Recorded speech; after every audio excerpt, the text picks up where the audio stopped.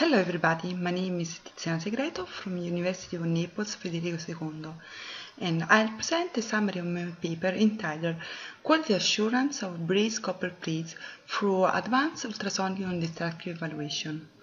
The ultrasonic non-destructive evaluation system utilized in this paper was uh, developed at our laboratory.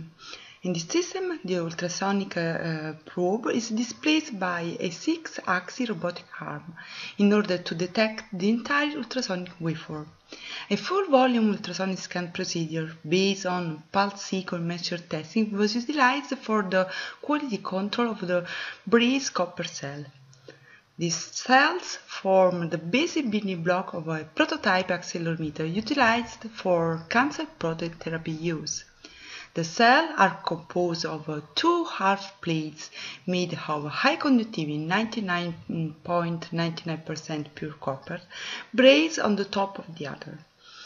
Using the custom-made software, it is possible to obtain ultrasonic images of any thickness portion of the cell, allowing for ultrasonic axial tomography of the back-to-back -back, uh, braze cell.